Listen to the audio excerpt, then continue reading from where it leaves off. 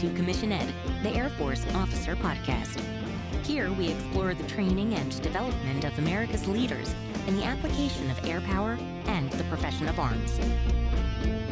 The views expressed are those of the hosts and do not reflect the official policy or position of the United States Air Force, Department of Defense, or the U.S. government. The mention of companies by name is solely for the purpose of discussion and should not be implied as endorsement.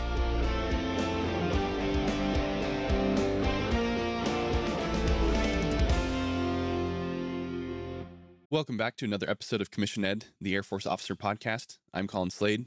And I'm Reed Gann, and we're your hosts for Commission Ed. In today's episode, this one has been requested many times, but is a great follow on to the discussion that we had last week with Captain Johnny Jopling. Today, we are bringing you a Judge Advocate General, a 51 Juliet Captain Karina Osgood, who is going to help us understand the role of the UCMJ, how the JAG functions in the Air Force, and their relationship with commanders, the mission, and every airman that's out there. Yeah, we're going to talk to it more in detail, but the law is everywhere. So pay attention, listen, because you got to know this stuff. The more you're in, the more you're going to interact with them. And it needs to not be bad things. You need to Yeah. not freak out. When you hear JA, you know, your heart rate needs to not go up. So, yeah. Yeah. As you'll see in the interview with Karina, they want to help. They're good people. They love the Air Force. And so let's turn it there over to Captain Karina Osgood. Captain Karina Osgood, welcome to the Commission Ed podcast. It's such a pleasure to have you here. How are things going? They're going pretty well. Pretty well. I'm just living day by day, you know, having adventures as they happen. Yeah, we were catching up a little bit before we turned the mics on. You've had some pretty exciting things in your very short career in the Air Force. Not to say that, you know, you can't accomplish a lot of really great things in a short amount of time, but you know, as the audience is going to learn, JAGs do things a little bit different.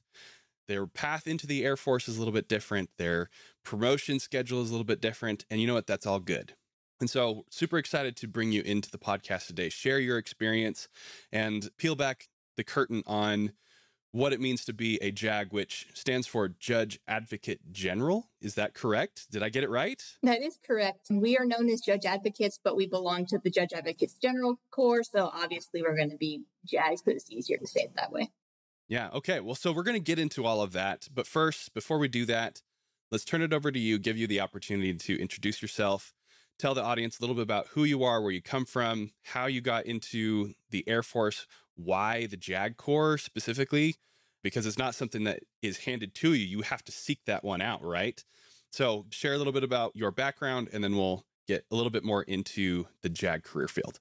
All right. So, I mean, I'm Captain Karina Osgood, and I'm a native of Northern California. I'm actually currently stationed at Beale Air Force Base in Northern California, just a couple How did you work road. that? I, I was actually surprised when they called me up and told me I was going to Beale, but I took it for what it was, and here I am. There you go. Okay. been here for the past two years, uh, two and a half actually. And my current job that I'm doing that I just started is called a Special Victims Counsel. And I'll get into that later, of course, as well, go into detail about what I do. But Okay. the way I got into the military is actually started off pretty early in my life. So when I was about 13, I decided I wanted to be a lawyer. That's what I knew I wanted to do. I like 13. yeah. I liked arguing. I mean, I like making my point, right? I wanted to be right. I like to analyze things. I love to read. That's who I was. And so, Oh man, I'm sure you were a joy as a child. oh, there was always like a, well, why? why is a great question. I love why. So that was me as a child, you know, always trying to get the answers, always trying to prove my point. And when I was 13, I decided I want to be a lawyer. And as time went on, a couple years down the road, I was thinking, I really, I do want to do the law, but I've always had interest in the military, like something to serve my country, something to be in uniform. I am actually a lover of uniforms. Like you put me in a uniform, if there's a job with a uniform, I'm there. Okay. So that's kind of how I was. And I thought, I really want to do something in the military. I just don't know how I'm going to accomplish that. So it actually turned out to be an interesting situation in which I had a friend that commented to me one time, I'm actually a member of Civil Air Patrol. And I said, okay, what's that? Right. And he told me all about it. And he's like, oh, it's an auxiliary of, this, of the Air Force. It's for civilians. It's a really good, like, youth program for leadership. You learn how to drill. You learn how to, to salute. You learn all the different things about professionalism and being what an officer would be like. And he told me you should check it out. So I said, oh, why not? I'll check it out. So I went. So this was the- in high school. yeah. So I was about 15 Okay. at the time, turning 16. And I went to a meeting and checked it out and I said, Oh, I'm I'm sold. Like I am doing this thing. They were in uniforms. Of course, I want to do this. they were uniforms, yes. So of course I was there. so when I started that off, I started also researching a little bit about career fields, you know, trying to figure out if there was going to be a connection with the military. And I found out that there was a thing called the JAG, the Judge Advocate General. And I was like, oh, that's interesting. And as I did more research, I realized there are military lawyers. Like, what? Yeah. I didn't realize that was even a thing. I had never crossed my mind that well, I guess the military needed lawyers, but now I know it's so true. So that started me off was working in Civil Air Patrol, having those experiences, like learning how to drill, learning how to salute, wearing the uniform, learning about professionalism, got me my start. And then I decided about 16, that's where I'm going. I'm going to be a JAG. So it's kind of a long road from there, obviously going through college and everything. And my entry program was different from how I would say most enter the military, at least from like the, the ROTC side, because I was an ROTC cadet, but it was different for me because there's a couple different entry programs for the JAG. So Okay. one of them happens during after the first year of law school, and law school is three years long. Is every law school three years long? Is that just standard across the board, no matter where you go? Yes, it's usually about three years. Okay. Typically, there's no summer classes that are taken if you're doing like in person, but there are also some circumstances where they're offering courses online now, and you can do it over the summer and try to maybe squeeze in in two and a half, but it's typically going to be about three years long. Okay. So the first entry program is like right after the first year of law school, and it's a condensed version of the four-year ROTC program. So instead of entering as like a freshman in the undergrad program, you actually enter obviously as a law student, but you're doing it in two years.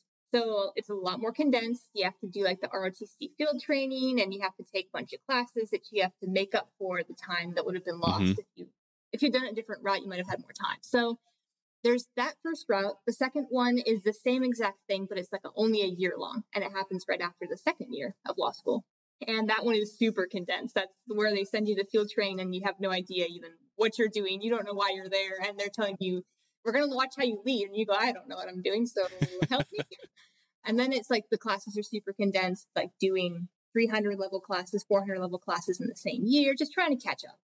And then the final route, which I'd say is more common than not, is to have people enter once they're graduated. So, like third year of law school, they're gonna pass the bar, and then they go into the Air Force that way, doing what's now, I guess, considered TFOT because OTS got replaced. So that's more the normal route. ROTC is a lot more competitive.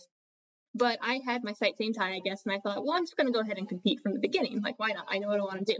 Yeah. So I applied first round and didn't make it in because it's, it's a super competitive program. There's only like, I want to say at best, maybe 15 tops that get selected per year from all the law schools in the nation.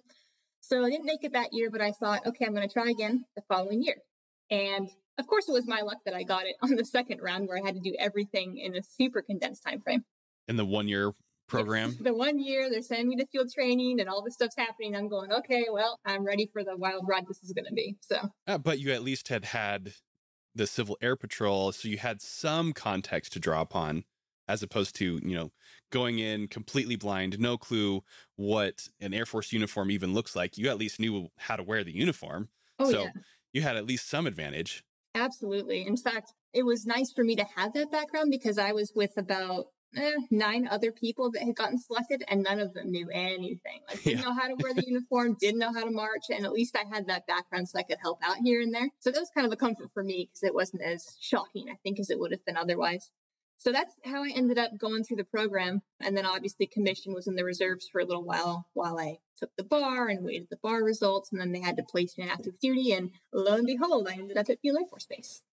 Okay, so I just want to back up a little bit, make sure that I understand so that the audience better understands exactly how this all worked. So you already had your bachelor's degree, you were going to law school, you were already accepted to law school before you ever started your commissioning training, correct? That's correct. And that's the norm is that you cannot start working toward becoming a JAG unless you already have your bachelor's degree and get accepted into this two year or one year program for ROTC, right? Typically, yes. If there's somebody that really knows from the outset that they want to do that, like at 18 years old, they're there as a freshman doing that, they could potentially go through the four year ROTC program. And then after they're about to graduate, like apply to the JAG Corps separately. Okay. And then they have to get selected for the JAG Corps. Then they go to law school and then they're just doing law school while they're technically an officer in the reserves. But that is not very common because most people don't even know what they want to do, you know, at that stage of the game. In my case, I couldn't because I had come in to my university already as a junior, about to be a senior. So I had a bunch of transfer credits. It just wasn't going to work for me at the time. Okay. So I postponed ROTC until later on. Okay. And then you say that this two year and one year has to be done through ROTC. And that's because you have to do it at a law school, which means that you cannot do this at the Air Force Academy that does not have a law school. Is that right? Correct. hmm Okay. So that's an important point for everybody to understand that if you want to become a JAG, should you or should you not go to the Air Force Academy? I mean, I'd say you can as an undergrad, but bearing in mind that your ROTC experience post that's probably you're not going to get where you want to go if you're going to be there doing law school, if that makes sense, because there's no law school to do. So I would take that into account when you decide if you're at the Air Force Academy is for you. It's not necessarily a detriment if you choose to go elsewhere for law school, but I mean, it's just something to bear in mind. Okay. I mean, I guess you could cross train, you know, later down the line, right? That is a possibility that you can go to the Air Force Academy or even through ROTC or OTS and get a different AFSC and then later on choose to cross train, apply for the opportunity to cross train either because you did law school on your own or maybe you went through FLEP funded legal education program is that something that we'll probably want to talk about here in a second and that can be another way that you become a jag does that sound right Yes, your avenues aren't completely closed off if you decide that the Air Force Academy is really what you want to do. It does pin you into the AFSC that you're given, right? So you have to start thinking after the fact, okay, how do I make myself competitive to be able Yeah. to be a JAG? And that's where FLEP comes in, the Funded Legal Education Program. And that one is even more competitive than ROTC. So, you, I mean, you've got mm. an AFSC, you're in a career field, you're already at that point a captain. And of course, your AFSC doesn't want to lose you. right So they want to keep you, they want to make it worth their while. So you have to be competitive enough to say, I offer value as a law student to become a JAG. I want you to pay for my education and I will be back in time. Yeah. So very, very few people ever get that opportunity. And once they do, the Air Force does pay for their education. They go to like a civilian law school as if they just were a normal civilian, but they do have to pay that back in time afterwards. Yeah. So I've come across a couple of different officers that were going through FLEP. And by the way, it's also available to enlisted. They can apply for FLEP, be on the Air Force's dime, getting their law degree, graduate, pass the bar, and then receive their commission, come back on active duty as an Air Force JAG. But yeah, I think this program, FLEP, is incredible. That just like any sort of funded education program that the Air Force provides, you get to do school as your full time job. You get paid as an officer, all the benefits, you accrue leave, you have a housing allowance, and you don't have to wear the uniform, which, you know, maybe for you, Karina, that sounds terrible because you love the uniform and maybe that wouldn't be something that would work for you but for others you know being able to have that time to focus on just their school and maybe they have family they have kids they have that ability to spend time with their family perhaps especially after they've been doing an operational afsc where they're deploying all the time it's a good break as they make that transition from their previous afsc into now being a jag officer Absolutely. It has its benefits for sure. Having that change in ops tempo and, and making sure that you have time for family. I'd say that it's something to definitely consider if, if the opportunity were to present itself. Okay. So we've covered pretty well here how you become a JAG, that you can do it through a commissioning program, ROTC. You can do it, you got your law degree, you go to TFOT, or you go into the Air Force and then you cross train. There are these various different avenues. Are we missing any? Um, no, not that I can think of because the one I mentioned was undergrads, but they, like I said, that's one where you do the four year program in ROTC, then you still apply to the JAG Corps anyway. So there's, it's kind of the same thing as if you were to do FLEP in a way. You're just committing yourself to time already in the ROTC and being commissioned. Okay. And so that led us up to your graduation. You pass the bar, you receive your commission, you got stationed at Beale. And then what happened? And then what happened? What hasn't happened? Well, I showed up to my first day of work and it was kind of one of those situations where you realize you know nothing. So I mean, I had passed the bar, but I had no practical experience working in the law. So for me as a new LT, first lieutenant actually at that point, I mean, I'd never been in active duty environment. So it was a little nerve wracking at first, quite honestly. And with the promotion systems that we have, it's it also puts a lot more pressure, I think, on us as JAGs as opposed to our other career fields that are out there. Yeah. Because we come in, so once we're in the reserves, we obviously from ROTC graduate, we become second lieutenants. And then once we're put on active duty, they immediately bump us to first lieutenant. So at that point, we're thinking, okay, there's already at least two years, if not more, of experience in the Air Force, is what everyone else is thinking on the outside. Right. Which is so not true. I had like two days. So there's a lot more pressure there. And then about six months down the road, there's an automatic promotion to captain. And I say automatic, not like everyone should get it just because they get it. I mean, you have to be worthy of it. It's still a privilege and an honor, but it's the idea of that's going to come to you due to your education. So because we have a three year degree that goes above and beyond what the undergrads do, we get a little more compensation by rank. So six months down the road, I, I was a captain having conversations with people who outranked me by a lot and had so many years of experience like leading squadrons and leading like everything under the sun and, and there i am just as humble me giving them advice on things about the law about military justice about stuff that was going to affect their people. So it was a lot for me to take in i think especially at the beginning was like i don't know anything. So there were lots of questions i had to ask of everybody else around me to help me work through that process yeah, it's such an interesting thing what we do to the professional officers, you know, referring to our JAGs, our chaplains, and then the medical corps, right? These folks who have to get that advanced degree to even receive the commission and that particular AFSC. We throw a whole bunch of rank at you. And just by virtue of how the Air Force operates, with rank comes responsibility and a certain expectation.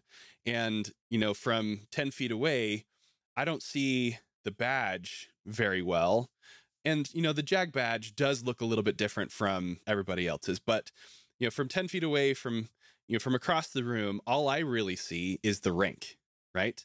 All I really see is the uniform. And that means a whole lot of things to a whole lot of people for better or for worse. And so it's a really interesting situation that our JAGs, our chaplains, our medical corps are all thrown into without the same amount of training and certainly not the same amount of experience that is gained by our rated and our line of the Air Force officers. Oh, absolutely. It's so different. And the expectation that weighs on us is definitely different because I know that when I first became a captain, there were people I was talking to, like first sergeants and commanders and others who had so much experience. And I know that they looked at me and trusted me to give them sound advice, thinking that I had four years, five years, six years in, and there I am humbly with my six months. And so it was a growing experience for me of taking on that level of responsibility to help out everybody there at the wing and you know make sure it was done right. Yeah, and you said that in order to overcome that, you had to ask a lot of questions. What sort of questions are you asking and who are you asking them of? Oh, in our environment, we work closely together as attorneys and paralegals. So it's not uncommon to see that our paralegals have so much more experience than we do. Like as enlisted members, just generally they've had more years and they usually almost all of them have cross trained too. So they've had experience in their career fields okay. in maintenance and whatever it is. And they come in with so much to bring, like so much to add. And I would ask questions all the time of the NCOs in the office, of our paralegals, just saying, how do I do this? Or what, what does this mean on the enlisted side of things? What's an EPR? How does this work? Like, I don't know. Yeah. and so they were always there to help out and mentor me because there I am with my two bars and I don't know anything. So I'd say that was a valuable lesson for me as well was realizing that just ask the question. Like it's fine to ask the question and there are people around to help. I would also ask a lot of my peers, but it was also, in a sense, kind of a struggle among all of us because we all had varying levels of experience. But for most everyone in my office at the time, we were all first assignment JAGs. So we we're all there together, struggling through, trying to figure out how to do it right. So if it wasn't from peers, then I had to go to my leadership and I was going to ask my deputy SJA, who was a major, sometimes asking the staff judge advocate, who's a lieutenant colonel, if, like what to do. But I definitely had to ask questions. There's just some things that you're not going to know. And you just know that somebody out there has had that wild thing happen before. So that's what I would do. I just be like, uh, sir, hello, can, can I, can I talk to you for a second about this? Cause this is rough. Like I need help. So yeah, for sure. And I hope our audience will recognize the importance of asking questions and relying on your peers, the enlisted, your senior leadership, regardless of the career field that you end up in. This is not just a unique thing to the JAG by virtue of the situation that they're thrown into with a whole bunch of rank, but very little experience. You know, this is something that is true for all of us. We all need to be asking those questions and doing so humbly and doing so frequently. Absolutely. Completely agree. Like, I wouldn't have gotten to where I am now if it hadn't been for all those questions. Even the ones that I thought were silly. Like, just even when it comes down to things like, how do I use my Outlook? What are the best ways to look things up and for context? Like, I don't know. And so it was humbling. It was definitely humbling. And I learned a lot. And now I'm not afraid to ask questions because I know that there's going to be an answer somewhere. And it makes me a better person for asking. Well, Karina, weren't you always not afraid to ask questions? Weren't you the one that was always digging deeper, always asking why? True, true. I do like to find the why. So asking questions is just a way to fulfill that in me, I guess, as well. Okay, well, to transition here, I think this is a good opportunity for me to ask why the JAG Corps? Why does the Air Force, military in general, but specifically the Air Force here for our context, why do we need JAGs? Why do we need lawyers?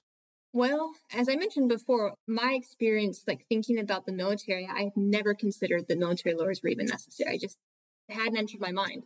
But the more I thought about it and the more I've, I've become exposed to it working in like a base legal office, I realized that the JAG offer something so essential because a military base is like a community. Like it's like your normal community on the outside world. And in a normal community, you have things that happen. You've got people who get into accidents. You've got people who commit crimes. You've got those who have problems like with real estate. You've got property issues. You've got everything under the sun. And it is so important to have that type of sound legal advice in the military environment because we're talking about decisions that are being made that affect a host of people. I mean, they affect property, they affect airmen, they affect missions, everything is at stake. And I have seen through my experience working in this field just how prevalent it is. Like the law is just everywhere. And we are absolutely necessary in the Air Force to sustain that, to make sure that things are done right, because we are held accountable for a lot as members of the military. Like we are funded. Obviously, we have to make sure we use our funds correctly. So there's a lot weighing on us. And we are always there as the legal check to make sure that things are done properly and giving the, the best advice that we can. And obviously, leaving up to people who make the decisions. Yeah. So you mentioned a wide range of things there that you have to understand a little bit of the law for. You know, there's the criminal side, there's the civil side, real estate, law of armed conflict. I mean, there's so much that lawyers that JAGs have to touch because just as you said, and I love how you said it, the law is everywhere. It is. It right. is. There's nothing, no, you know, portion of planet Earth, the sky above it, or the space above that where there isn't some sort of law in effect. And if there's a law, then we need a JAG who is going to be there to help the commander, the other people who are carrying out the operations to understand it, right? Exactly. So, how do you manage all of that? I mean, how do you know criminal law and civil law and you know r&d law budgetary law how do you keep a handle on all of these different things it can be rough and I'd say that the JAG Corps is definitely for people who don't stop learning because it is always about learning something new. That's what intrigued me about coming in was I knew that I was going to learn something every single time. Like every day could be something different. So I would say that the way we manage that is, you know, by taking it one step at a time, by saying, okay, yesterday, like I knew this one thing about criminal law today, I know something else, and relying a lot on peers. I think that's very important is having that support network too to keep learning and to manage it all when things get hard. I would say that something that's been valuable for me too is to see the practical application of it. Like it means much more to me to see it play out in somebody's life or in the military context and operations than to just sit watching like a PowerPoint presentation about how this is supposed to work. Like my technical school was informative, but there's nothing compared to actually having the experience of watching like oh, okay, this is how a court martial works. Okay, the PowerPoint that made absolutely no sense to me with all the squiggly lines going places, now I understand the entire thing because I did it myself. So I'd say practical application is how I've been able to manage just the massive information because it sinks in so much better when you get the hands on experience. Okay. And you mentioned courts martial. So that's the thing that you've been involved with during your time at Beale. Is that correct? Yes, pretty heavily. The legal office generally works in like couple different areas. So as we've talked about before a little bit, there's the civil law stuff. It's like everything that's not criminal law. So it could be contracts, it can be civilian labor law, it can be environmental law, um, wills, it can be legal assistance, helping out the airmen with their problems that they have, stuff that comes up in their lives. So there's all that stuff on the side, and you have the justice side. And during the two and a half years I was at the legal office, that was what I primarily did. I was in discharges for over a year. I knew that program inside and out. And then I ended up running the justice program as the chief of military justice. So courts martial was my thing. I litigated a lot of courts martial when I first got to my base. We had a pretty heavy caseload. So, like I said, practical experience got me so far. Like being in the courtroom, having those experiences, knowing how things work, that's definitely benefited me so much. Was that a pretty normal way for the career path, the developmental path for the JAG is to come in and do criminal or do civil? Do they have it structured in some way that you get to see all of the different kinds of law, or do you pick one or get one picked for you and then kind of focus your attention there and your experience, and that becomes the thing that you become really good at over the course of the career? How does that all work? So typically, assignments in the JAG Corps are going to be about two years long. And the first assignment is always going to be the base legal office. The reason for that is because new lieutenants coming in have to learn a little bit about everything. And JAGs, most often over the first couple of years of the career, are generalists. Like that's what we do. We just know a little bit about everything. We're not going to be the experts, but we at least know something. It's in and the name, right? Exactly. Judge, advocate, general. There you go. Exactly. A little bit about everything. So the time spent in legal offices to rotate through positions. It's not uncommon to have leadership decide, okay, this person right now has been in the justice position, like the chief of military justice for about a year. Time to switch them over to be the chief of general law or civil law. And they can do that and learn something new. And that is because it creates a well-rounded JAG, like for the future. And also it helps fill the gaps because sometimes things happen. We have people who deploy, yeah. we have people who get sick, we've got stuff that goes down and we cannot have an office where like only one person knows how to run our military justice program we need to make sure enough people can fill in just in case something were to happen i think that's a military principle we see everywhere too right like having enough people to do enough jobs so in case something really bad were to happen we're not just going to be left stranded yeah, I like how you said it. Fill in the gaps, not just in your own knowledge, but also in the mission that has to get done. The time is going to come when someone has to leave the office either for a deployment or they get sick or they get PCS or something. And you're going to have to step up as a less experienced officer to make those calls. And it's best to have had a little bit of exposure to everything so that you can at least have some context to draw upon. For sure, for sure. And for future assignments, that also plays into it too, because the experience that we get builds upon like every single thing that we do is always going to be a stepping stone to something else. Because yeah. as I said, the law is everywhere. So uh, just because we're in a base legal office doesn't mean we'll maybe never will see a contract ever again, or we'll never touch a fiscal law issue because fiscal law issues are everywhere. They're in the deployed environment. They're there at the, lo- at the local base. They're everywhere. So the knowledge that is gained from a legal office is taken then to future assignments. And then, of course, with more responsibility means that there's more experience to be had. And it just creates this, I think, nice cascading effect of just seeing how the experience just keeps going forward and forward and forward. And all the stuff from the base legal office is actually useful. Like having that time to at least be in the seat, whether it's six months or a year, is invaluable. Yeah. And I want to make sure that we touch on this. Like, it's not just understanding the law for the law's sake there is that practical application that you were talking about. What are you studying and using the law for? How does it apply toward the execution of the operational mission, the support and logistics of the Air Force? How does the JAG fit into all of that? Who are your customers? How are you helping them? Mm-hmm, exactly. It's about being able to apply that too, because the law is written down. Like there are rules to follow, but you can't just take like a black and white situation always and just say it's always going to be this way. There's things that change, there's nuances, there's always gray areas, and it's always important to understand with each new scenario okay, the laws applied this particular way in the situation I was in before. How can it apply in this particular situation? Because the answer might be different. And one of lawyers' favorite things to say in the JAG Corps and even outside the JAG Corps is it depends. Like it really just depends. I can't give you a straight answer. It's not because I don't want to. It's just yeah, it's so nuanced. And having that background of every situation teaching you something, it goes a long way. And you're doing that for not just the other lawyers, but you're doing that for squadron commanders when they're dealing with UCMJ violations, non judicial punishment kind of things, criminal situations, and also mentioned earlier law of armed conflict you know you're they're helping to guide the operational mission in the deployment of air force weapon systems on behalf of the United States, right? You have a role to play in the projection of air power. Oh, we absolutely do. And I think that's something that's maybe not recognized as frequently because obviously the warheads on foreheads idea is, you know, where the action happens, but there's also a lot of conversations that happen behind the scenes with senior leadership. And there's a JAG always present to that. Like a senior JAG is going to say, here's what I see. And based on the law, here's the decision you can make. And you can do what you like, but here's the advice that I would give you based on my experience, based on the law and what it's telling me. So it's a very important rule to have.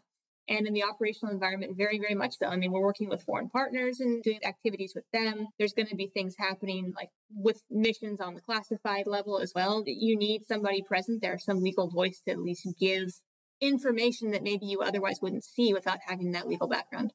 Yeah. You had the opportunity to do that operationally. You recently returned from a deployment, right? I did indeed. You know, don't have to get into all of the nitty gritty, you know, sensitive details of it, but what's it like being deployed as a JAG officer? It was a unique experience for me, quite honestly, because it was my first deployment. Wasn't expected. It was actually one of those volunteer short notice things where I had two weeks to get myself ready to replace somebody else in my office who ultimately couldn't go. Wow.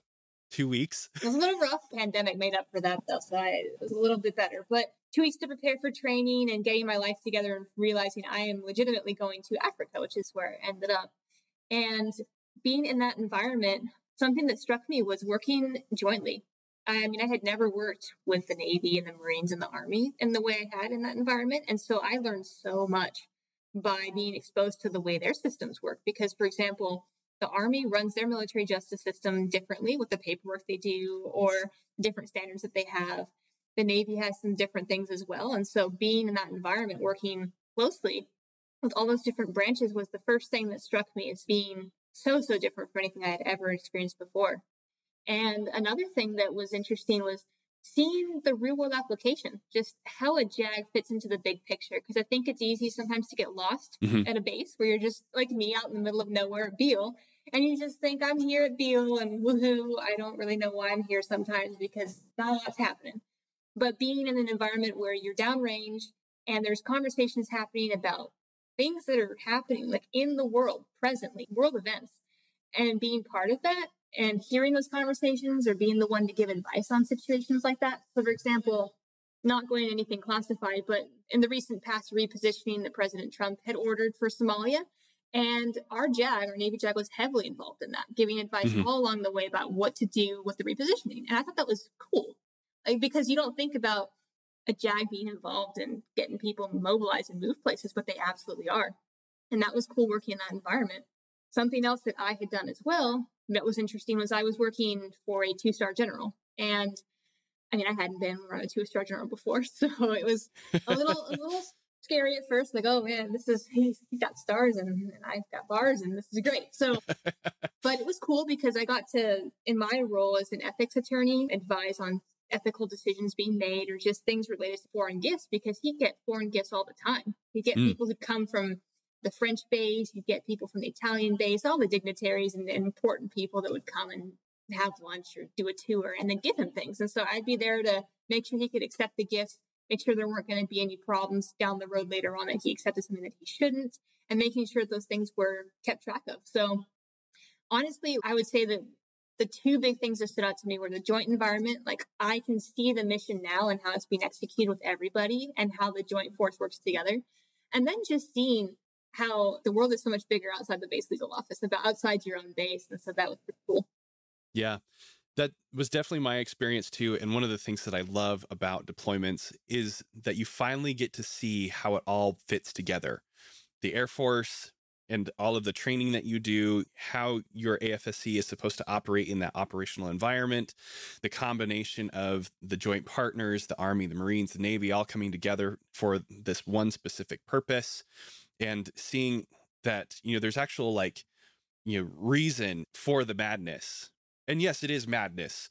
Deployments are crazy and chaotic and way super fun, but you finally get to see it all come together and yeah there are things that are you know super frustrating and you can't speak the same language as the guy across the table from you who also happens to be in the united states military he just you know grew up in the army instead of the air force but it gets you that opportunity to work cross culturally, not just, you know, in the different services, but like going to Africa, you know, our joint partners, our coalition partners there, cross cultural experience and opportunities there.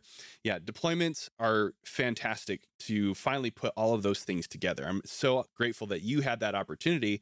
You now have that context as a JAG officer because not every JAG gets to deploy, right? Oh no, it's a very rare thing, I would say, especially with what we're seeing now with certain locations being removed, just because things are changing politically, right? And so militarily. So I think there's even going to be fewer opportunities than there were before. And I feel privileged to be the one that could actually go and be in an environment like that because for junior captains like me, it's not that common. Um, we don't have many spaces open, and it's also dependent on, you know, is it your time, your P band to go, or is it not? Right.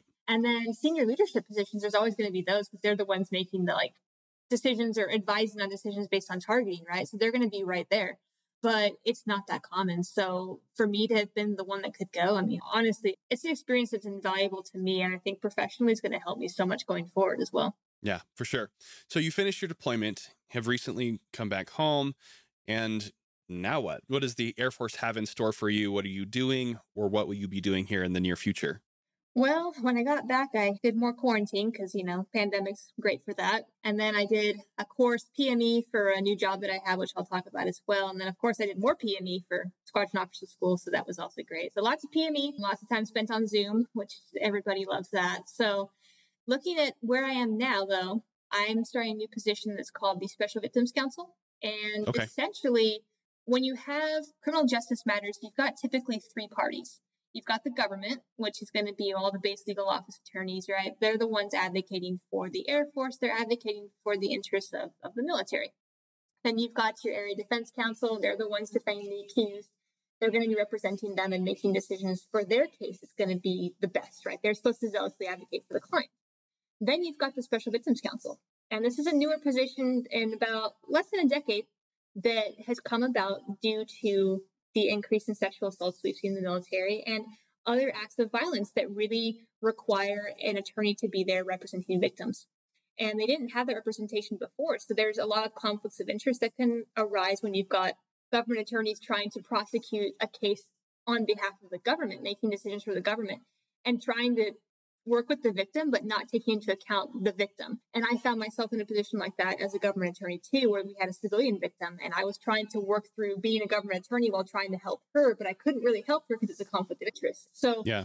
this position was created to advocate for those interests. And a unique thing about the position that a lot of people don't understand is actually a special victims counsel is there to represent and advocate for the expressed interests of the client or stated interests. So that means that we are the mouthpiece for what the client wants. And it's different from an accused, for example. So in a courtroom, the area defense counsel could make a decision about how they want to cross examine a witness. Their client could be sitting right there next to them saying, Do this thing, I want you to do this thing. The attorney could say, I'm sorry, I'm not going to do that for you because this is the best outcome for your case. And I understand it right now. So let me, you know, advocate for you. It's different for a victim because a victim has a right to participate in proceedings or not to. And let's say, for example, there's a victim who was sexually assaulted and maybe they have a really good case. Like the government really wants to advocate for getting the, the accused convicted, but the victim just doesn't want to go through with it. For whatever reason, they just don't want to go to court martial. And our role as a special victims counsel is to advise them on all of their options and to say, you could go to court martial. You could also go through an administrative discharge process. Or you could also have maybe if you really just want an apology from this person, if that's going to satisfy you, then we can do that too. And the client makes a decision. And then we're the ones who have to transmit that. And there's some frustration that can arise sometimes with squadron commanders or even like government attorneys in the base legal office because they're thinking, what are you doing, Special Victims Counsel? Like, why are you making this decision? And it's not us.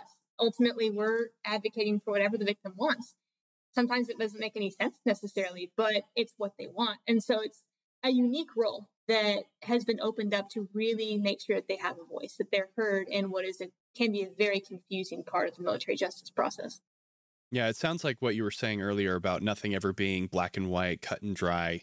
You know, there's a lot of nuance to all of these things, especially when it comes to sexual assault and you know all of the highly charged emotions that that come along with that you know the I don't even have the right words to describe it because it's not something that I've thankfully ever experienced, but it just shows the importance of having you, the JAG, involved in all of these different things from criminal law to civil to budgetary and fiscal to law of armed conflict. That's why we need to have the JAG officer there and present. But as is my want, I want to ask this question why does the JAG need to be an officer? I think in that respect, why having an officer is so important is because the decisions that are being made are at the command level. Like the things that are affecting people's lives and mission outcomes are happening at the command level. And there's a certain level of professionalism that needs to be there. I'm not saying the enlisted corps doesn't have that. There are so many, so, so many really great enlisted personnel who exemplify all the core values. But I think in the environment we work in, where we've got senior leaders making decisions, it's so vital to have an officer who's either of the same rank or, I mean, lower rank as I am, that can be there and work in that environment. And also because we have to set an example. I mean, as officers, we are there setting the professional standards. And as attorneys, especially, I mean, we are we are considered professionals in in the outside world as well. We have bar licenses, we have responsibilities, ethical duties we have to abide by. And so I think it's a nice fit to see a JAG officer in a position of being an officer, thinking about the fact that they also have their bar license, they have all of those things they have to to abide by clients' interests and confidentiality and everything. So it seems like to me a great way to bring two worlds together and also to serve the mission best by supporting our senior leaders in the decisions that they make. I mean, you have the paralegals, and you mentioned that it's not that the enlisted couldn't do this job and do it well. How do you see the commission itself, the oath of office, the oath of the officer? How does that play into what you do in advising command decisions and ensuring that standards and UCMJ are being properly enforced and that the Constitution is being supported? That's a, that's an interesting way to look at it in, in regards to the oath. And something that stands out to me about the oath is that we're supporting defending the Constitution of the United States. And as lawyers, I mean, we do that as well in supporting the laws that are there. Whether or not we agree with them, there are laws that are going to be abided by. And I think that plays a heavy role into what we do in advising commanders because we're supporting the Constitution against all enemies, foreign and domestic, every time we offer advice about a mission or about even like something as simple as a contract on base. Like we're helping to further that, defending ourselves against enemies. I think that's very, very important. Something else that comes to mind as well, just the difference in officership, I think, is from the oath perspective, is looking at obeying the orders of the president and all the all the other officials. It's not something you see in the officer's oath, and there's reasons for that. But I think it's important to, from the legal perspective, that we're here as advisors. Like ultimately, we don't make decisions. I'm not making a decision for anyone but we're just there as a supporting role for people who are actually making those important decisions. And to me, that means a lot thinking about the oath and how that relates to my role and being a professional, like a legal professional, and furthering the mission. Yeah. Well, there's some pretty heavy stuff there. We could dig much more into it, but I want to you know lighten things up a little bit more and give you the opportunity to share you know a pinch me moment yes, you deployed, and yes, we talked about your deployment. Maybe the pinch me moment came from that. Maybe it's from your time at Beale. But when was it that you found yourself thinking, wow, I'm being paid to do this? Oh, okay. The deployment was definitely one where I think I had that thought of, this is my life. Like, I am doing this. Like, I'm a lawyer. Why is a lawyer doing this right now? But this is awesome. So, a couple things even before the deployment that always stuck out to me that all of us have to do as officers is we qualify right with weapons and everything. We do the CBRN stuff. We're always putting on the gear. Mm-hmm. and i always thought to myself man i don't that's not something i would do as a normal lawyer. Like i'm just not going to go down to the range and do that as part of my job. But when i went on the deployment i realized wow there's some cool stuff out there that i get to do. So one of the cool things i got to participate in was an exercise we were going to do that didn't quite pan out the way we had planned it due to the law. Actually, the law was staying in the way, but that's what we're there for. So to get your son right. so we did an exercise. It ended up just being us as U.S. forces going out to the desert in Africa, and I got an experience to get on an MV-22 Osprey and fly to the desert. And I thought, whoa, That's pretty amazing. They had the back of it open. I was sitting there watching the clouds go by and I thought, That's awesome. this is the moment. Like, this is one of those things I'll never get to experience otherwise. And then, of course, we got to watch the flyovers that C 130 stayed out in the desert. And we got to also get a ride back on the C 130 with them Yeah. loading up different cars into the back. So I got to see it fully loaded. And I was just thinking, this is amazing. And another thing on my deployment that also stuck out to me was I got to take pictures with camels. Like, who gets to do that as a lawyer? I mean, you can go on vacation and go to Africa and take pictures of camels all you want, but the idea was there I am out in uniform working with our foreign partners, and I'm just taking pictures of camels because they're there. And so that was pretty awesome. I enjoyed that. That's awesome. I'm kind of slightly disappointed that your pinch me moment wasn't, you know, in the courtroom where somebody finally said, "You can't handle the truth." But, you know, maybe that doesn't happen every day. No, no, it doesn't happen every day. I mean, courtroom moments, we deal with some strange cases though. So there's always stories to tell. I believe it. Well, very good. Thank you, Karina. I really appreciate you taking the time to share your experiences, help us better understand how to become a JAG, why the JAG exists, the relationship to the Constitution and your commission. But I know that we didn't cover everything. Obviously, there's so much more to the career field. And I want to give people the opportunity to ask those questions. If they want to reach out to you, what is the best way for them to do that? If they are in the military, you can just find me on, you know, military email on the global. That works well. Anybody else, I mean, I'm available via email to answer questions as well. Great. Yeah. So they can reach out to the Air Force Officer Podcast. They can send the email to Air Force Officer Podcast at gmail.com and we'll forward that on to you and facilitate that conversation from there. Well, very good. One final question for you, and we kind of went into it a little bit, but want to hit it more directly. Karina, what does it mean to be an officer? I think being an officer, it sounds cliche, but it means being a leader. And it means being someone who holds themselves to high standards. It means someone who has taken on a serious responsibility to support and defend what matters most. And to me personally, the valuable thing I found in, in the experience is that I can be a leader. And even if it's like with paralegals in an office, even if I'm never a squadron commander, it's just the idea that I'm leaving an impact on other people and that I can set that example and perhaps be that person to help somebody else along the way so they can progress in their career. And honestly, it's such a unique experience because not that many people that we have in the United States will ever get to be in the military, maybe, or make that choice. And so to be one of the few who can say, I am a United States Air Force officer and this is what matters to me, this is why I took the oath. To me, it means setting an example, honestly, like being somebody who can leave the impact for everybody else and to make sure the mission is done at the end of the day.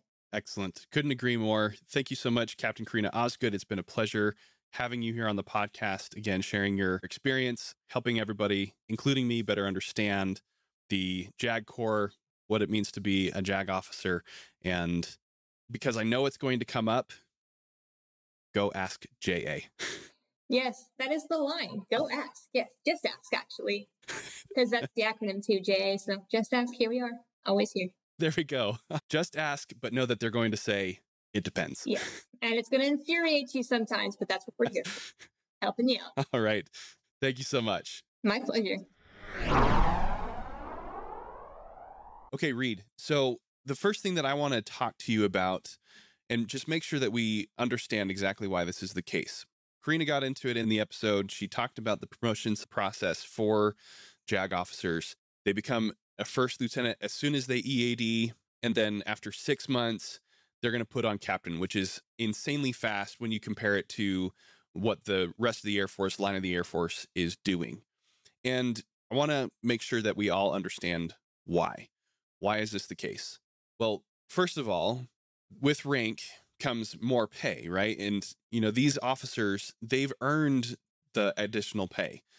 They have their bachelor's degree, they've gone to law school, they passed the bar, they are professionals. And so we should compensate them accordingly, right? Yeah. No, and, and no real beef with that, right? But pay is not enough, right? Rank means something in the Air Force.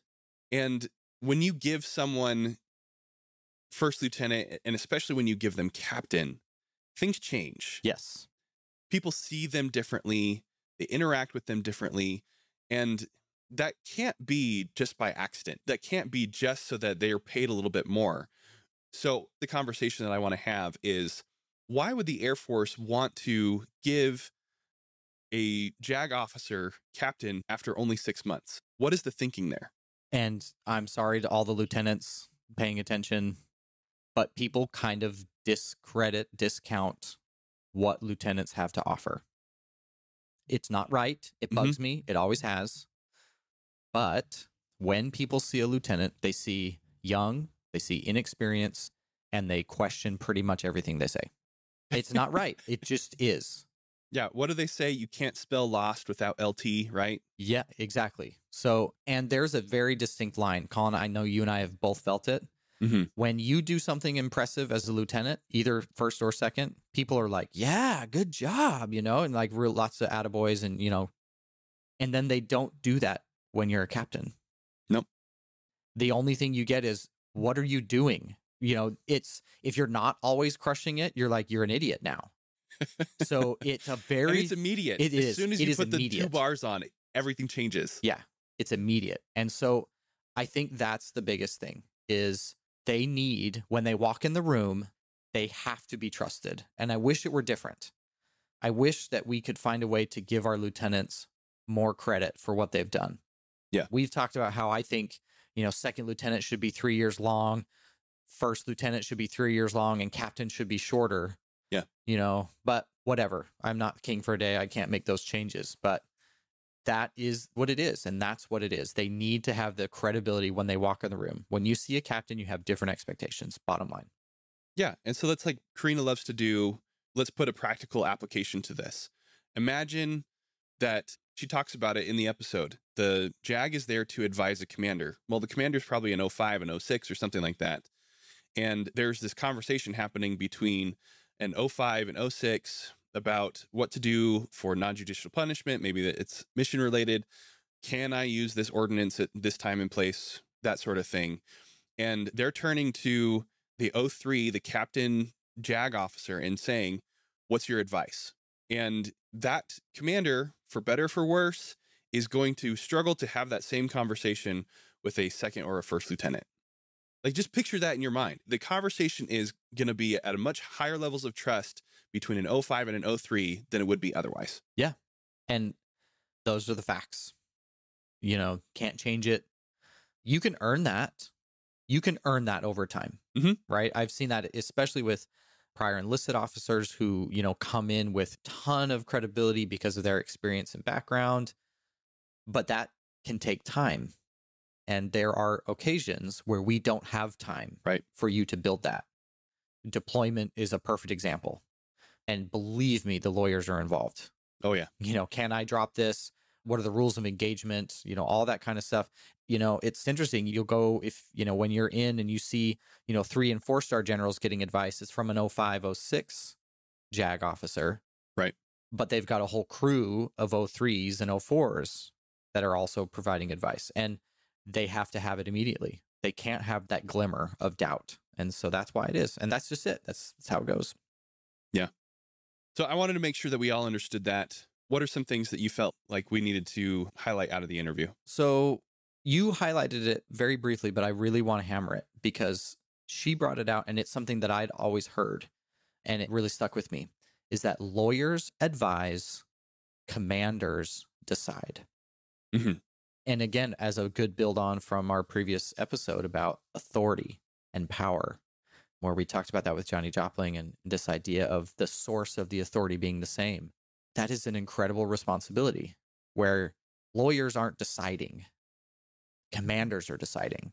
Right. I thought it was interesting that she highlighted that. I've heard commanders tell me that. You know, in certain settings, you'll be like, well, JAG advised this. And then the commanders say, lawyers advise, commanders decide. Where does that responsibility lie? You can't point to your lawyer and say, well, they recommended that I do this. If it goes south, it's on the commander. Yeah. I mean, it's not going to be that often that the commander is going to go against the advice of JA, but it does happen. Yeah, it does, especially operationally. You know, when you're taking risks or evaluating the quote right thing to do, You know, that's the other thing. These are not easy decisions. This is not binary. Right. This is not, oh, oh, well, according to this line in the code, oh, easy. I know what to do now. No, it's not. Which is why we tell everybody what? What do we tell them, Colin? Call JA. Call JA. Yes, absolutely. but I just love that she highlighted that. That's what they are trained to do, to advise. But the responsibility to decide lies with the commander. Yeah, and what you're saying there, Reed, gets to what I wanted to bring out again is that there is no, you know, at the highest levels of operations and strategy and what the Air Force is trying to do, there isn't going to be a black and white yes or no checklist item for every decision that needs to be made. And yet, the law is still everywhere. And the way that I like to think about this is, as we've said in previous episodes, that there are both written and unwritten rules for everything, and that they are going to apply to you whether you know what they are or not. Well, this is one of those things that is definitely going to apply to you. The law is going to apply to you no matter what, no matter who you are, where you are, when you are, whether it's specifically written down in a UCMJ article or there's just the unwritten intent, it's still going to apply to you. And so that is why the commander has on speed dial JA. Yeah. And that is why we, as officers, and really everybody in the Air Force, officer, enlisted, civilian, you name it, should be comfortable with calling JA and asking those questions because the law's everywhere and it will always apply. Yeah. I you're totally right. That leads me to the last thing I wanted to talk about. The longer I've been in, the more rank and the more responsibility that has come my way, the more I interact with them and the Mhm. more it's opened my eyes to exactly what you're talking about, that the law is everywhere. I think it's really important and this is what I wanted to share. Your relationship with them, it will not always be pleasant. Right? These are not necessarily your favorite days but the interaction needs to not be adversarial. You can have a bad day, you can have a bad situation, but these folks are resources for us. Yeah. They are resources for us to use to get to the right thing to help the Air Force, to help our airmen, and to help us. And so, yeah, it's going to be lousy when you've got a DUI to deal with and you're calling them and they're giving you advice. But that's no excuse. You can disagree without being disagreeable. That's what I'm talking about. Yeah. It needs to be a professional and positive interaction, not adversarial. And so far, that's been my experience. And, you know, yeah, they will sometimes come in and be like, no, sir, no, ma'am, you cannot do that. You know, I've had those hard conversations in the legal office. Yeah. And yet it was not adversarial. These are our people. They are airmen. They are on our team. Yeah. They are wearing our uniform. They are on Team America, just like we are. So don't make it adversarial. Yeah, you could say that about not just the JA, but security forces, OSI, even, you know, like the chaplain, the medical corps. You know, let's just extend it to everybody who wears the uniform. They're not our adversaries. There are bad apples. There are people who make stupid decisions that adversely affect other people. Yes, that does happen. But by and large, everybody who is wearing the uniform or is hired by the Air Force to conduct the mission or support the mission is on our side. Yep. Yeah, totally agree. I really appreciate Captain Osgood coming on and giving us her perspective. I thought she had some really good things to think about and a different way of looking at the problems. You know, I'm a very ops centric guy in the way I look at the world. And so to talk with her about her deployed experience and to hear the legal perspective on things, I thought was really insightful. And hopefully it's given our audience something to think about, like you said, Colin, because the law is out there and they are out there writing the rules to this game that you're playing in, whether you like it or not. So, probably a pretty good idea to call JA. yeah. I, mean, I, I can't say it enough in this episode. Yep. So thanks for listening to this week's episode of CommissionED. And now call JA.